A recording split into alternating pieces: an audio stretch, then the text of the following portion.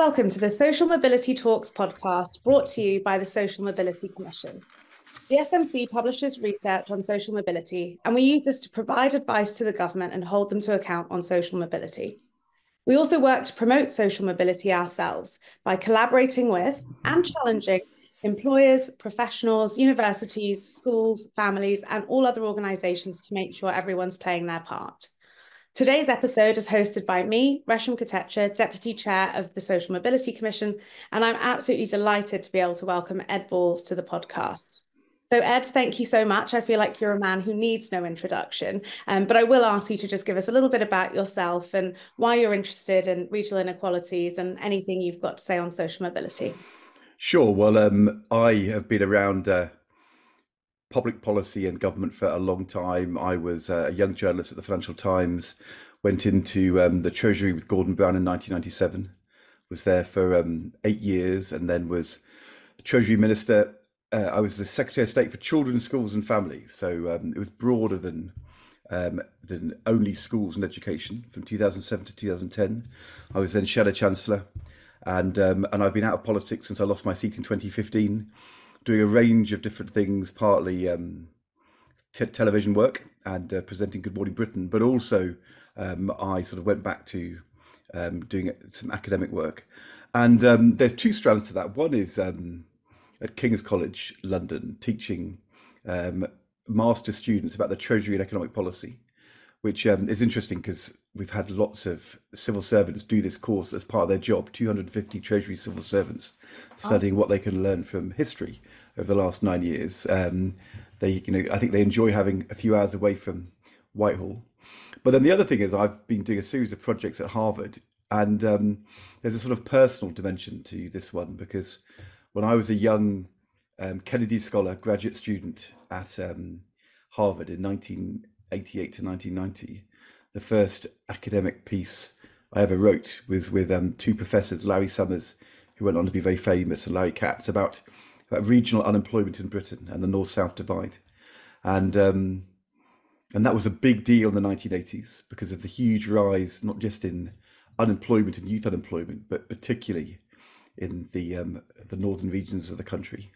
And so, um, what's that now? Um, pretty much um, 30 40 years on, um, I've been back looking again at the question of why regional divides have been so persistent in the UK and what we can do about it. And I've been doing that work at Harvard and King's with um, a group of um, graduate students who are the kind of same age as I was in 1988 and looking at what's changed, but I'm afraid also what has stayed the same in terms of that sort of spatial regional place inequality, which has been such a big deal in Britain over so long. And I definitely want to come back on the differences and what's been 40 years, but I think it's helpful just to set out to the audience that your research project um, has seen three reports. So I would advise yeah. everyone to read them. There's some great executive summaries and lots of interviews, but there was one in March last year, one in October last year, uh, and your most recent one came out in February of this year. Um, right.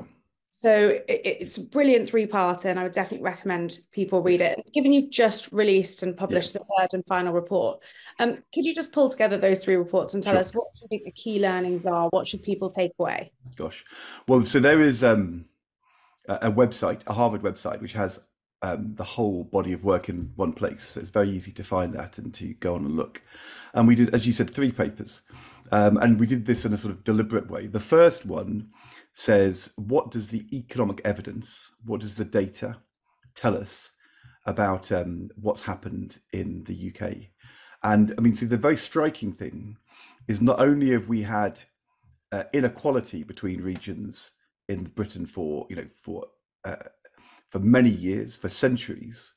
Unusually, in the last 30, 40 years, they've widened in the UK, when in other European countries they were narrowing. So the gap between London and the southeast and the rest of the UK now is wider than between North and South Italy or between East and West Germany. And those wow. are places which I think 30 years ago we thought were, you know, uh, exemplars of inequality. We're, we are as wide or wider now. So that inequality has continued to grow. The big change which has happened is that it shifted from being about unemployment and jobs into really about incomes and productivity. When I did that work in the 1980s, we looked at why was unemployment so high in um, the north or Yorkshire or Manchester compared to London, the southeast. Whereas these days, the differences in unemployment and employment are small. The big differences in wages, incomes, and productivity. And so, why is that uh, happened? And we should come back to it, but we look in kind of detail. What does the evidence tell us about what has really driven the British story? Looking at it as an economist would from the data.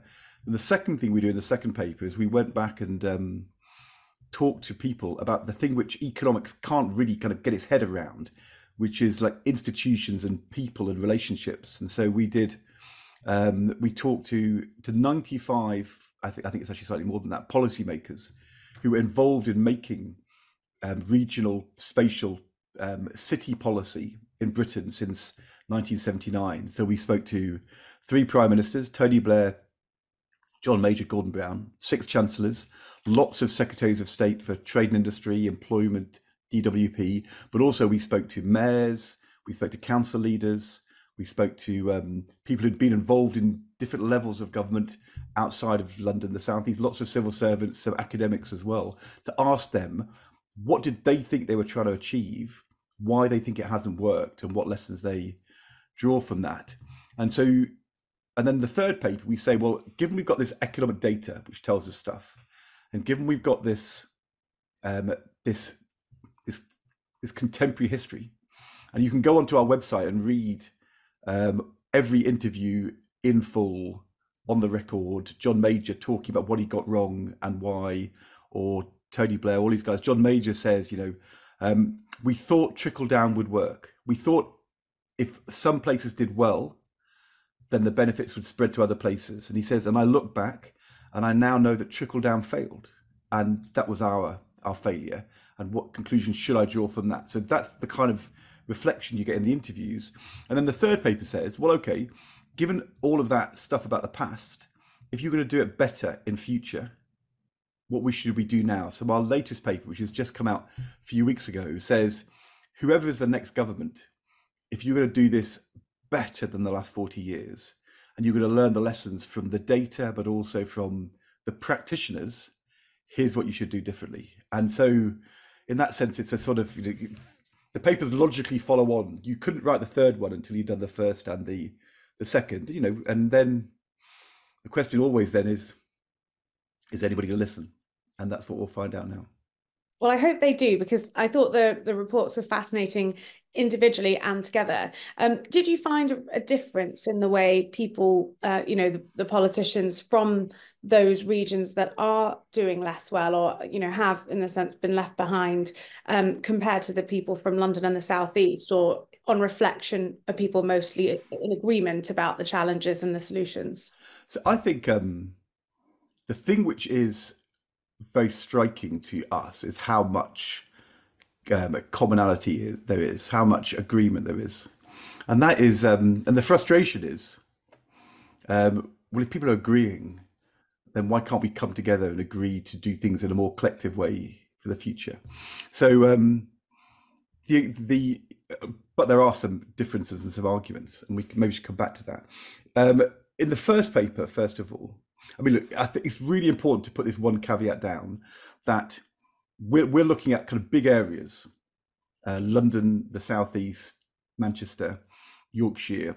But within every one of those areas, you have big divides.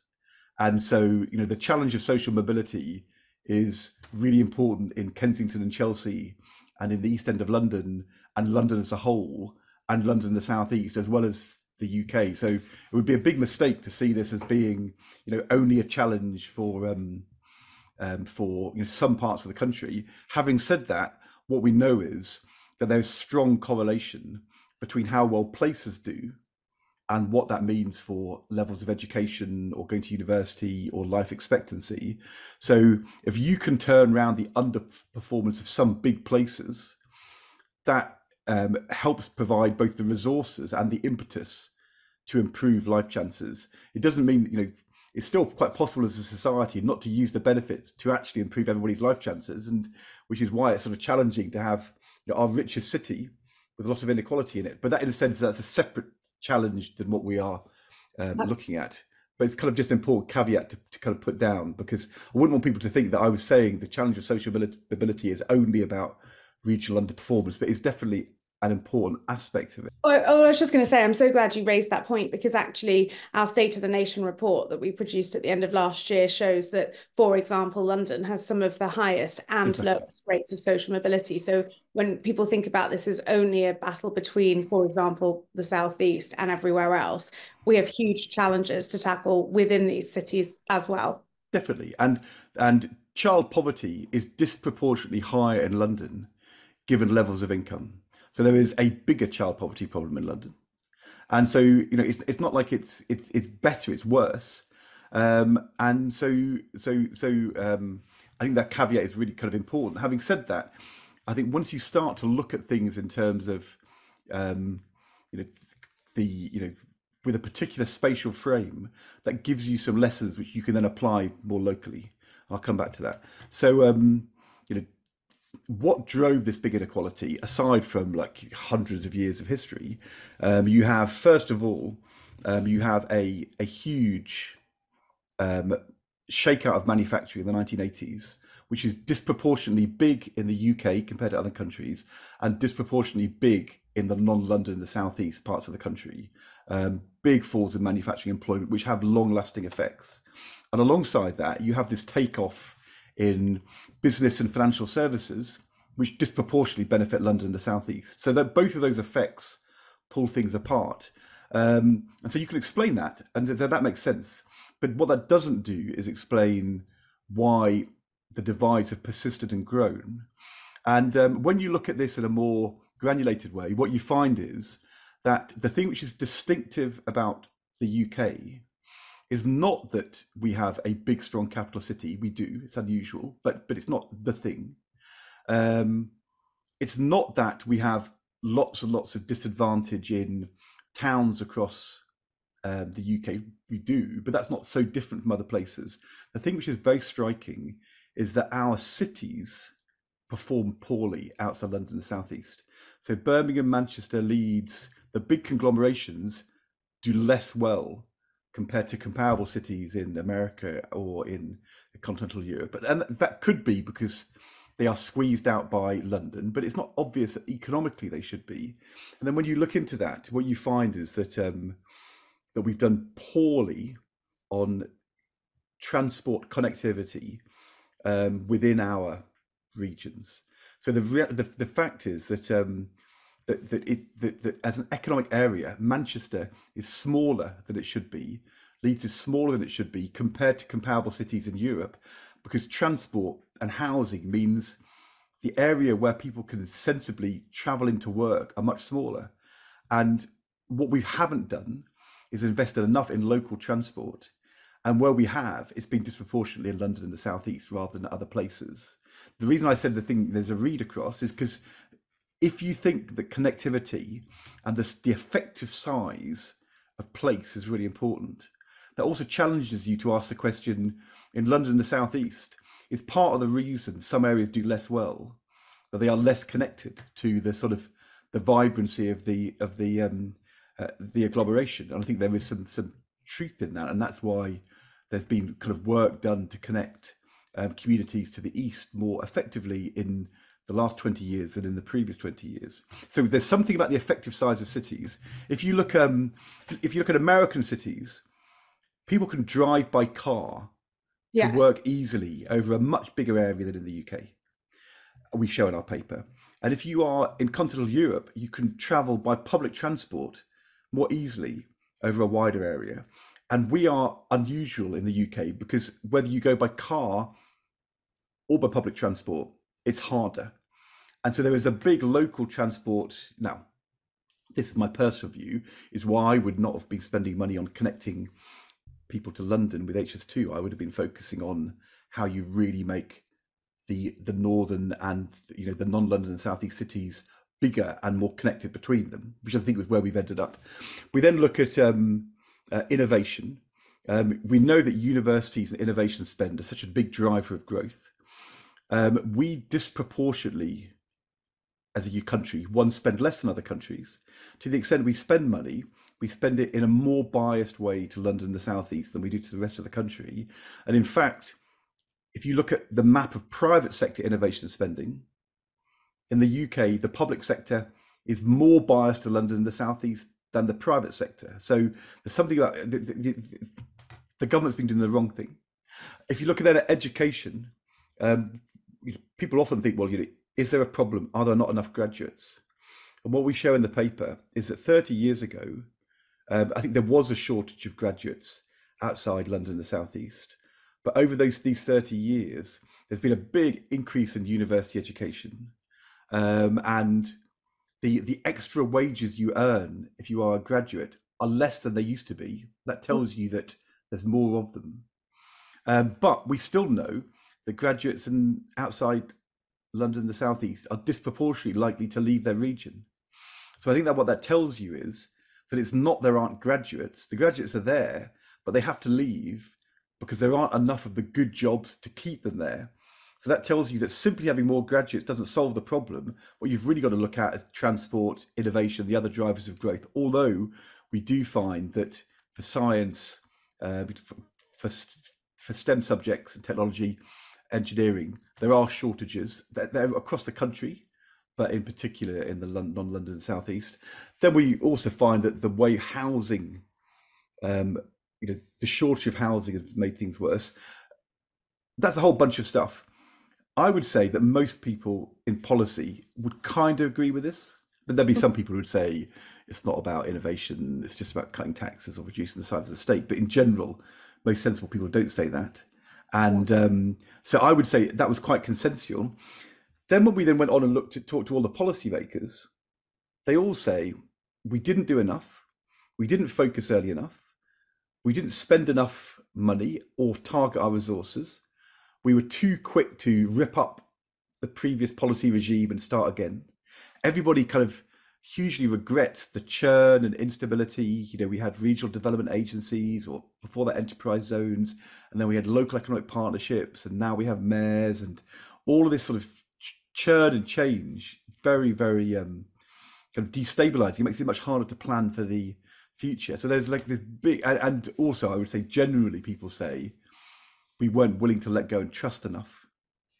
I want to put you on the spot on that a bit because um, I, I, it's not that I disagreed. I thought there were loads of really valuable points about consensus and working cross party and thinking of a long term plan, maybe a commission. Um, but the, the challenge I find when thinking about politicians actually taking that advice um, is our electoral system, in my opinion, doesn't reward cross party working in the way that you would need it to in order for this long term planning to take place. Um, and it's very challenging for parties if they start agreeing with each other. The immediate attack line comes back, well, you know, you may as well vote for us, or they don't have any ideas of their own. So um, you were hugely influential in the 2000s. Um, if you could go back then uh, and, you know, you had the ability to say, we're going to do these three things um, and put that into place, what would 2000 Ed Balls do um, to, sure. to, tackle these issues? So I think, um, I mean, of course, politics is always contested. There's always an argument, and it's a good thing. There's an argument, and and people are sort of trying to work out what the right thing to do is. Um, and sometimes it does feel as though that is more.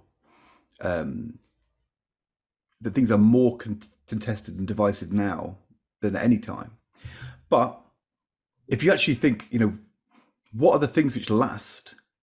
The things which last and the things which become consensual. They're the things which become agreed upon, even if they were contested at the, the start. So, so we made the Bank of England independent in 1997, and we established a national minimum wage. Um, we also put more money into the health service and said the national health service is our long-term future. You could go on with that list. All those things were contested at the time but now central bank independence is, is cross party. I mean, mm-hmm. everybody mm-hmm. agrees. We had a short period where Liz Truss looked like she wasn't going to agree, and that all ended up as a bit of a catastrophe, and everybody agrees again. The national minimum wage, by the time he became the Chancellor, George Osborne was boasting about raising it. David Cameron said in 2010, I'll cut the deficit, not the National Health Service. And so it is true that things can become consensual. But but but sometimes, you know, in welfare state, in something like I don't know, auto enrollment, and um, kind of spreading pensions to working people. Massive change, cross party. Um, so the question is, what is it which um, which um, allows that consensus to be built? I think it's probably um, you know a track record of success, which people then say, you know, that's really good, and we Mm. want to keep it. And any time you either don't have a track record of success because it's not succeeded, or there wasn't time, or people don't care, in the end it's sort of um, easy to rip up. So if you take, um, I would say, the the combined authority elected mayors, the mayor of Greater Manchester, Birmingham, Yorkshire, they were quite contested when they began. But actually, I think most people, I think most people actually in those in those um, areas. I, I think probably if you had a referendum in Manchester, should we keep the mayor? Most people would say yes. There wouldn't be that many don't knows. And what came out of our interviews is a view which is this this potentially really works and we should stick with it. That's happened because of the track record of success and public support for it. Um, if you take something like police and crime commissioners, we have police and crime commissioners which get elected. I mean, I would think that most people in Greater Manchester don't know what one is and they probably would not be that bothered about voting in a referendum. I'm not saying they should be got rid of, but they've not been entrenched in the No. same way. When we had a children's department, 2007, 2010, we didn't have time. There was we couldn't point to a track record. It was easy to rip it up. So I think um, the answer to your question is that I mean, if you if you've got the wrong model, you have to start again. And it might be that when we went for regional development agencies, these big, huge, wide region um, kind of public bodies without any sort of underpinning in in a local democratic mandate, maybe that was a mistake. So I think probably in retrospect, I wouldn't do that again. Not not quite the way we did it. Um, but if I was wanting to win the argument, I'd want to start from the beginning and do things in a big way. You know, let's go for it and spend the money on transport and innovation and the things which will make the difference, because then I'm going to make it harder for my opponents to rip it up. So, in our paper, we say there is the potential for there to be in in the manifestos this year some broad agreement about what needs to be done. But I think actually you are right that people simply sort of agreeing is not the thing which establishes a consensus. There are things you can do to try and deepen it as a sort of a political task. And we're sort of calling for that. But I think actually the thing which makes the difference is having a plan, sticking to it, it working, and people saying, don't rip that up. And we are closer to having that now than we've been for a while. And so I think the, the one thing I really don't want people to do is rip it up. What I'd quite like them to do is throw weight behind it to make it work better, which is what our paper's about, um, and to give it time. You know, the truth is, if you've had regional inequality for hundreds of years and it's got worse in the last 30 years, you're not going to sort it out in three. No. You might in 20, or you might make a real start in 20. But if you, um, if after three years you said that's not working, let's rip it up and start again, the one thing you can conclude is you're going to fail. Of course. You're just three years behind where you were when you started. Exactly.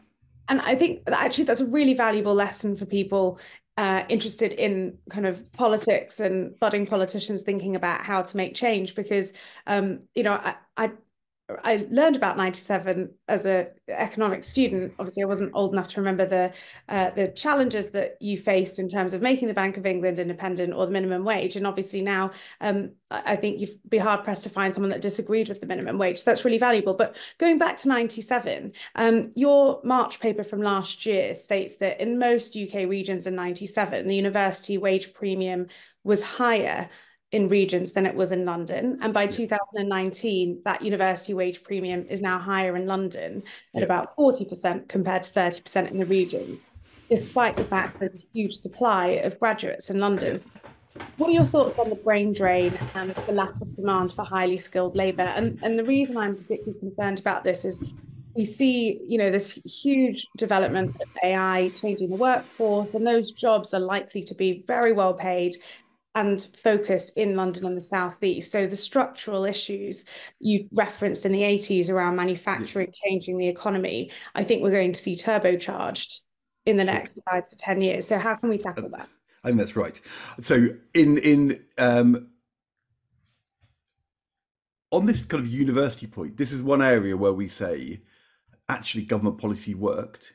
Government policy worked because by expanding university education, um, we supplied the graduates areas needed.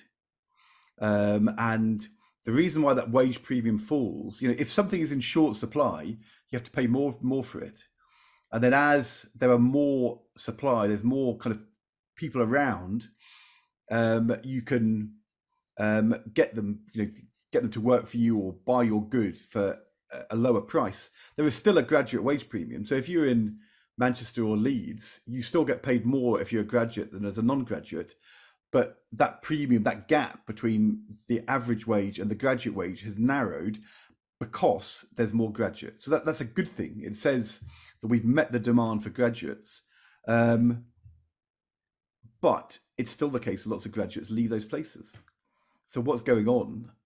And it's that there is another reason why there aren't um, enough jobs for them than there just not being enough of them. You know, isn't the I think lots of economists wanted to say the, the, the lack of graduates who are living in the non-London and southeast parts of the UK is a constraint, and we say actually it was a constraint 30 years ago. That constraint is substantially eased, um, so it must be something else going on. However, when you a bit more granular and you say, as I said earlier, well, let's look at science graduates. Um, there's a shortage of science graduates everywhere in the UK, including London and the southeast.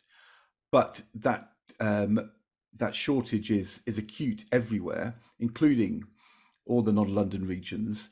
And there, you've not seen a fall in that graduate wage premium. So that probably tells us that we needed to have done more to get people doing science, engineering uh, degrees in the last 30 years. We should do more about that now. And then when you look at the um, kind of people getting qualifications, so um, at level three, so people are getting to A levels or their equivalent um, in vocational qualifications, you see the same pattern, which is that um, where there's a shortage, where there's a premium in their wages, is in particular in those those science technical skills. So um, part of the story is trying to make sure we train people better in universities or colleges to meet, as you said, what employers want. And what employers are wanting increasingly is those STEM technical skills. So we need to do better at that. But I think our paper also says that simply training graduates isn't enough unless you tackle those other things which seem to be holding back productive businesses growing and expanding outside London and the southeast, which is more about transport, universities, innovation, housing, um, maybe supply of finance for kind of venture capital growing firms as well. And if you don't do um, the, the, the analysis we do in the first paper says, what do we think are the things which which bite, which which make the difference, which hold places back? And I think probably simply having more graduates is not going to solve the problem, but having more of the right kind of graduates is part of the solution. That's really helpful on universities. And I want to talk for a second about the roughly 50% of young people that don't go to university. Um, at the Social Mobility Commission, our State of the Nation report at the end of last year found that people whose parents have a university degree are more likely to have a degree themselves, so about 64%, than people whose parents had no qualifications. Only about 18% of them go to university. Um, and we we are very concerned about the 21% of NEETs from um, and least privileged backgrounds. And they're a key group we're concerned about. So what are the proposed routes based on your research, but also your extensive political experience for roughly that 50%? So when when um, I was doing the Children's Schools and Families job, of course, that was a big focus for us because um, it's very easy to, to have an education department which talks about what's happening to um, the the average progress of the average child. Um, to say more of our kids are going to university, um, a rising proportion of our young people are getting five GCSEs with English and maths. But if what you care about is um, uh, is is opportunity and fairness, then it's not some children you care about; it's every child and every young person, and therefore it's the young people who aren't uh, getting those opportunities that you are more focused and worried about. And as you say, when that correlates with um, where you live or the occupation of your parents or something else, a special educational need or um, disability, I think what that to me that says um, these are people for whom you have to kind of work extra hard. Uh, there are barriers, but you can overcome those barriers. But have you got a plan? Have you got a strategy? And a children's department cares about every young person and doesn't really only want to think about the um, the averages. Um, I don't think that this is particularly a spatial challenge because as this is absolutely an area where you know you can you you, you can talk about um, the the productivity and average wages and kind of shortages of graduates across the UK and say there was something distinctive about uh, Manchester and the northwest or Leeds compared to London and the southeast. Once you start talking about um, um, young people facing disadvantage, finding it hard to go to university or get onto the job ladder, I think probably uh, there is less of a spatial dimension.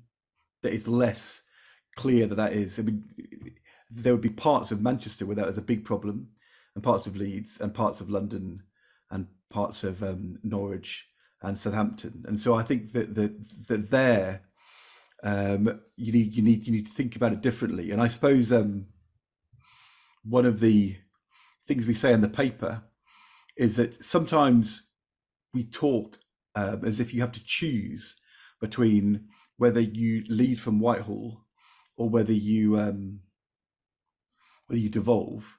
And the reality is that that's a false choice because there are some aspects of this where it absolutely makes sense to um, to to hand over power and decision making to mayors and combined authorities.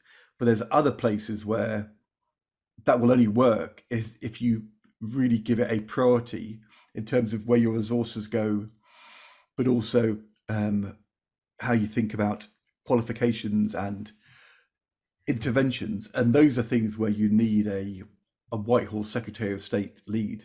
And I, I don't think um, that, that we can sort this out unless it's kind of driven from the centre, um, as well as being so it's a good thing to have a mayor saying, "Give me more flexibility to tackle um, low rates of staying on in a part of our region."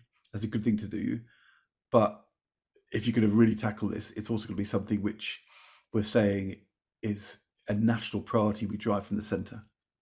And so, given your experience of driving from the centre as a former education secretary, in your experience, you know, I fully understand the point about every child, but what in your experience are the policy levers that government has or that that secretary of state has to advance social mobility what worked or didn't work when you were in government to go after the hardest to reach and is there any advice you'd have for the next government on what they could and should be doing to tackle social mobility for the least advantaged children i'm not kind of totally um, uh, kind of up to date with everything the government is doing t- today um, or or what the opposition is saying.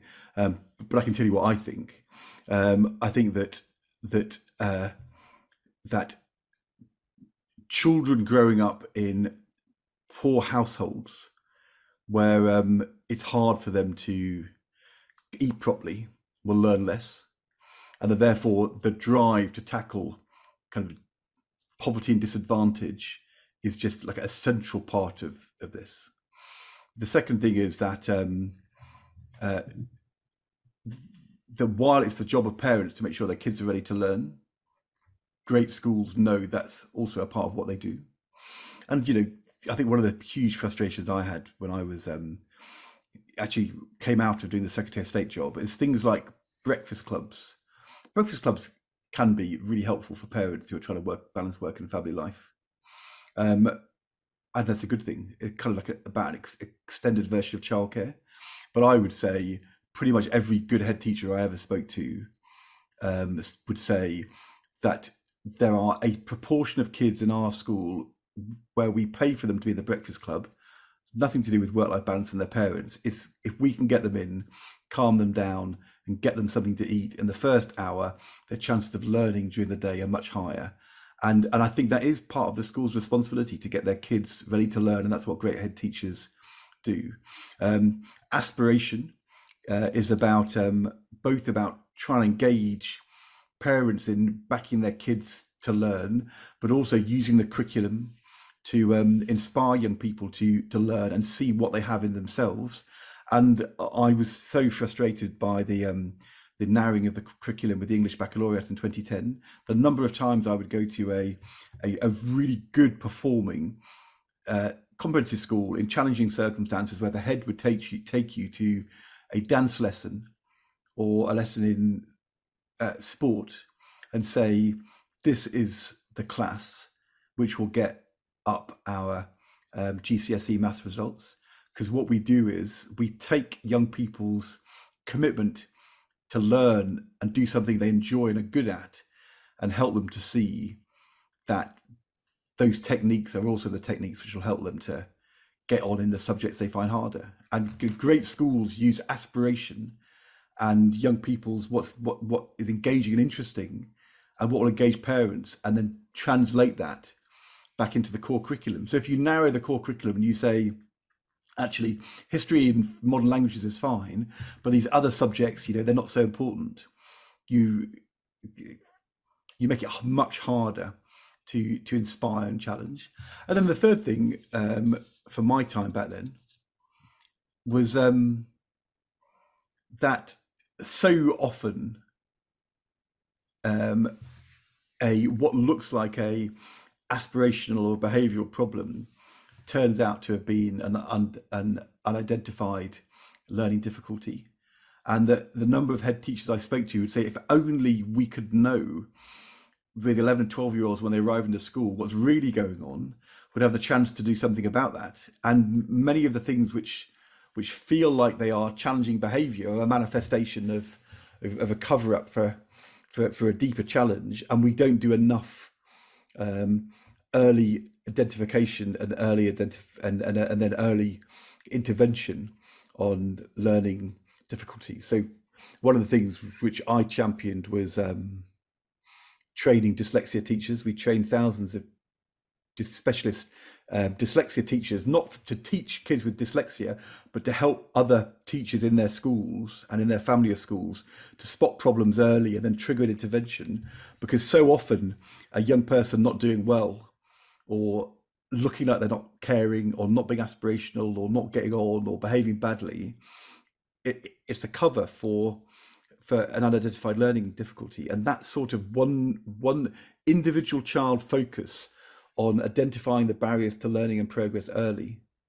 But you have to care about every child to do that. Of course. And, actually, I want to pick up on that because you've been very open about saying that learning to speak publicly advanced your career. Um, and I think the points you were making about children's confidence or unidentified challenges is so important because we we kind of expect all children to be able to communicate. And if you're unable to or scared to or don't have the skills to be able to talk in class you're you naturally fall behind so um, if you're That's happy right. share, i'd love to hear a bit about how that impacted you in your career um, and your support for public speaking in schools for children who might benefit from that so I, th- so I think I think I think I'll come to you in a second. I think this communication thing is such a big deal, um, and and so often behavior which is challenging masks a, a struggle with communication or learning. When I became Secretary of State, I spoke to the um, head of the Head Teachers Association, which is called ASCL, School and College Leaders, and I said, I'd, I'd, i just want to go for a day, this is my first month, to um, a, a school which is off the beaten track, kind of not in the headlines, challenging but doing well, which with good leadership, not be announced, no media. I'm not going to ever just so I can spend the whole day there, and the head teacher can point out to me stuff which is a um, challenge for them. And in my first hour, that she started with um, young people who arrive at eleven with um, unidentified problems with communication and learning.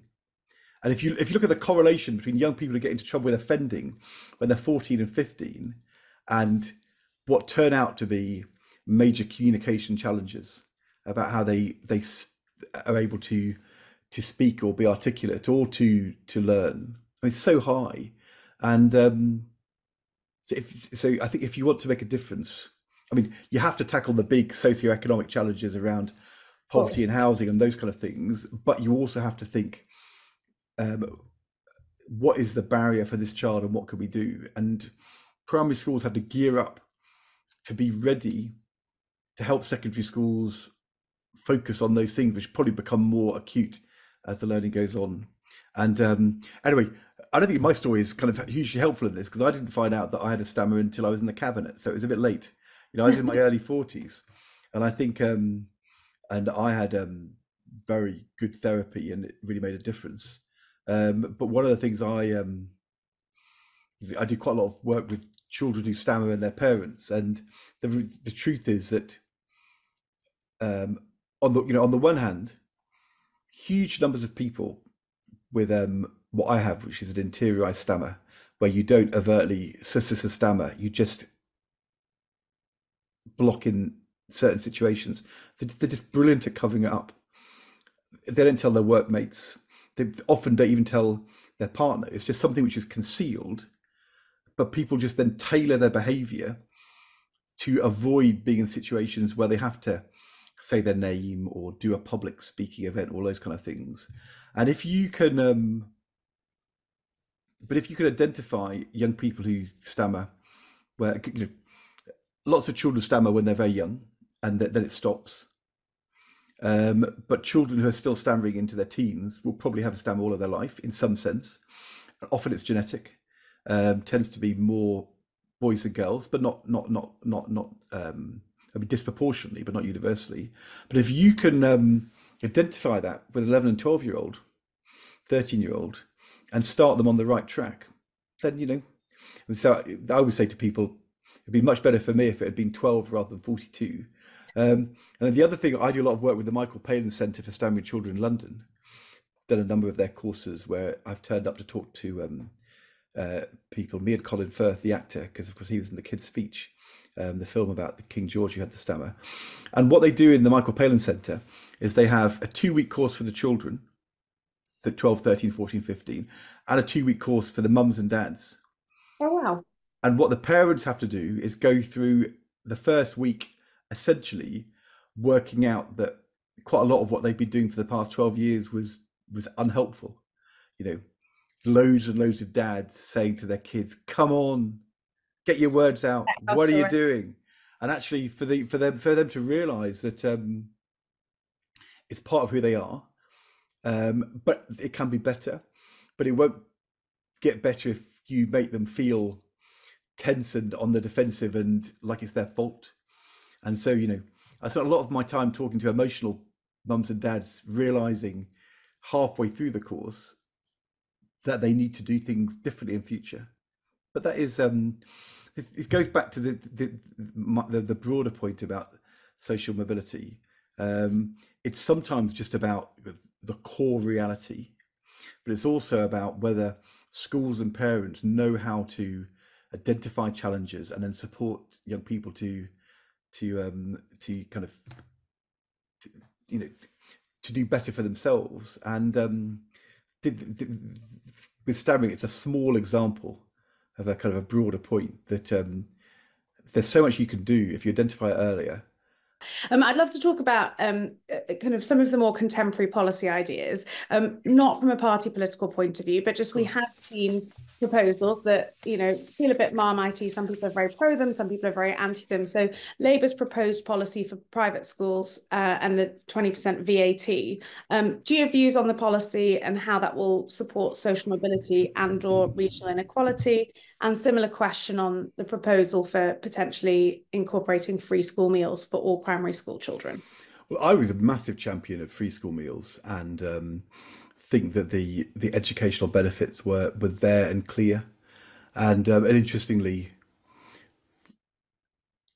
when I was Secretary of State and was was travelling around schools, head teachers would generally take you to um, see the science class, a dance or sport class about aspiration, to meet the school council, and then to show you the school lunch because they knew what a big deal it was. And um, uh, and the evidence which we collected in a series of pilots was was clear, but it's really expensive, and so at a time when there are lots of pressures. You know, I'm not going to criticise any politician who says uh, uh, uh, uh that we can't do it because I think um,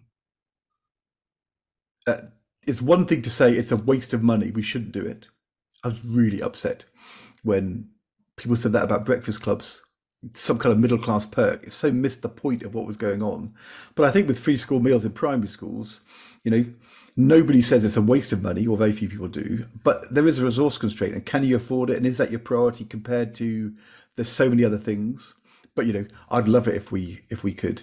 And then so the once you say there's things we want to do, but we've been through a tough time fiscally and the national debt is high and lots of debt interest payments and you know budgets are squeezed. But I think if then if you are a government um, or potential government, you start thinking, well, you know, is there money which we can find? And the Institute for Fiscal Studies says, you know, that at the moment, if you charge VAT on um, private school fees, it would raise gross 1.7 billion. And then if you then say, well, there'd be some people who'd leave private schools and go to state schools, you're still going to get about a net 1.3 billion a year. And I suppose if you're the Secretary of State for Education, you think um, I could do quite a lot with 1.3 billion a year. Now, the government I was part of didn't do that, but um, if you are uh, if you are a government which is looking to raise revenue to do good things, you always have to ask the question: Is what we will do going to you know to raise the revenue? Will that do harm the IFS says um, net big revenue raiser. So I guess you can see why they want to do it. I can see that. Um, and so I, with my day job hat on, I work in the data space. I'm also the SMC lead on uh, data and evaluation. So it made me really happy that you reference data so much in the reports. Um, and we often say uh, at the ODI, what gets measured gets done. So, across these uh, three research papers that you've done, did you find that there are meaningful data gaps or differentials in the way we um, kind of qualify or define uh, statistics that mean we're missing the full picture or that government or local government doesn't quite have the information it needs to be able to be more effective and more impactful? I think that, well, I mean, the answer is always that's just sort of the nature of um, of um, life, you'd always want more data and to be able to use it well. And what our, our first paper is um, very um, data intensive, and we we use some conventional data sources. So we use a lot of labour force survey data on um, wages by university over time. But then on the stuff we on transport, we went and found there's lots of TomTom -tom data around you know where they measure people's journey times, and we found a way to look at that internationally. And what you're always trying to do, I think, with um, good research uh, is uh, it rather take one data set and say, let us find out everything this data set will tell us to answer this question and feel that satisfying. I would always rather say, let's get 10 different sources of data which come from 10 different directions and try and be rigorous with each one and then say when you look across the piece does it add up to a, a picture? And i think when you look at what we've done around three or four different ways of looking at the education question or innovation or transport or um, kind of finance for, for, for business that's what we've done. So it's very data intensive but it's not sort of uh, sometimes in economic research the statistical method seems to become more important than the quality of the data or the question you're asking, and we don't do that. That's not our philosophy. But then the second thing we did in the second paper, which is a very non-data thing, um, because there's lots of things data is not going to measure, and um, so I think contemporary history and qualitative research, if you do it well, can also be really interesting, and it sort of shows up. You know, there were four big questions which which we answer in our third paper, which is um, which is how far should you go on devolution? Um, with uh, with what levers? Um, how much should central government drive the devolution as opposed to leaving it to localities to um, uh, decide, um, and how comprehensive does it need to be, and then how far should you look at sort of tax and fiscal devolution as part of it? Those were all things which emerged as the contested issues in our contemporary history interviews. There isn't really any data which gives you that, but it does tell you where I think the policy challenge is. And then I think in the third paper, one of the things we say is you have to, unless the Prime Minister and the Chancellor really think it's important, unless you make it the centre of your economic strategy, it won't um, it won't really drive things. You know, when we were in government 20 years ago, um, the assault on child poverty, halving child poverty in 10 years, was part of the budget. Because if it's part of the budget, if it's part of the central economic um, and social justice strategy of your government, you've got a chance of making a difference. So we want this issue around kind of growth and um, spatial inequality to be at the centre of the budget process, driven by the Prime Minister and the Chancellor. And if you're going to do that, what then is your um, your way to really drive that? And I think there's two things you can do internally you could have a delivery process with data where you're continually saying to departments, you promised this, you promised that, why isn't this working, why isn't that working? That's what the delivery unit used to do. But then the Office of Budget Responsibility, which at the moment looks at growth, it looks at migration, it looks at the public finances. But I don't think at the moment they have a remit to look at the spatial distribution of growth.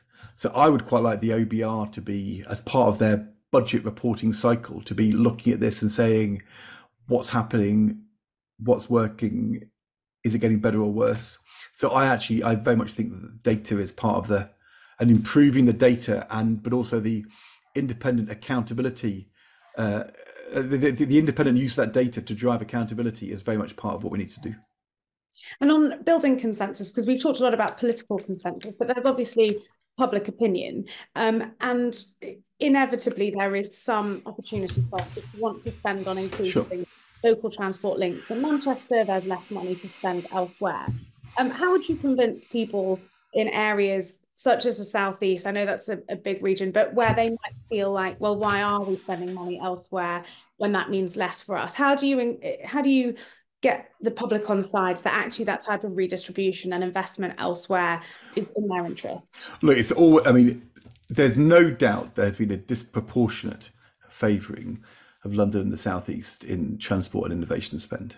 Um, but that kind of redistribution is harder when you are um, reducing spending overall um, and easier when you're talking about who gets what of the increase and the reality is that um, we've, I think, in, underinvested in public infrastructure and public transport.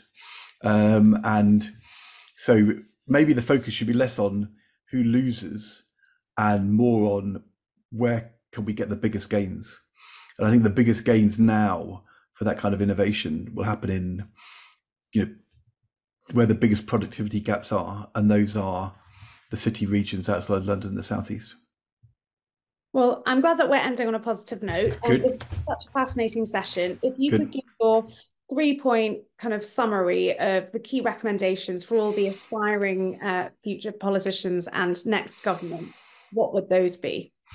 I would say um, that that you have to um, match a central focus on driving growth and productivity and incomes across the whole of the UK with a willingness to um, to to devolve the means and resources and give financial flexibility to um, areas to then deliver. Um, secondly, that we have with combined authorities and elected mayors a real opportunity, but it can't just be for some parts of the country. It's got to be everywhere. You can't say to um, Burnley or to um, Hull um, or Blackpool, sorry, um, you on the outside. I think it needs to be inclusive. So I want have a comprehensive approach to devolution um, across the whole of the, the UK. And the third thing I think is every time we say the last lot didn't do it properly, we're going to rip it up and start again. You make things worse, not better. And let's try to find a way in which we can, you know, there can be disagreement and there can be nuance, but let's choose our model and then try and deliver it, taking a 20 year view. And uh, everybody wants that kind of consensus. And as you say, politics, does, politics doesn't always find it easy. Um, but I think we have the chance of that now in a way we haven't for 30 years, and we should seize it. And are there next steps for the research project? Um, I think we, we have a um, seminar coming up at the Institute for Government in a few weeks' time with um, lots of people from Whitehall and the political parties and academics coming to talk about it. But I think the um, the the big question is what the parties say their manifestos and whether they make raising growth and tackling these inequalities a priority for the next parliament. And if they do, do they then get on with it from the beginning rather than delaying and then regretting they've delayed? I'm sick of politicians doing interviews with us saying, if only we'd been bolder and more radical and more decisive earlier. And that's what John Major says, what Tony Blair says, what George Osborne says, what Gordon Brown says. But, you know, maybe the next generation should get on with it a bit quicker this time. So valuable life lesson: be bold from today. Um, Ed, thank you so much. So it's been Pleasure. absolutely fantastic. Everybody listening and watching, um, as Ed mentioned, you can read and, and look at all of those research papers. There's lots of interviews out there. Please do because it's absolutely fascinating. So thank you to a brilliant guest. Um, and to everyone watching, please join us for further episodes of the Social Mobility Talks podcast, where we'll be discussing a huge range of social mobility topics. Make sure to subscribe on Spotify, Apple Podcasts, or YouTube so you never miss an episode. Thank you so much.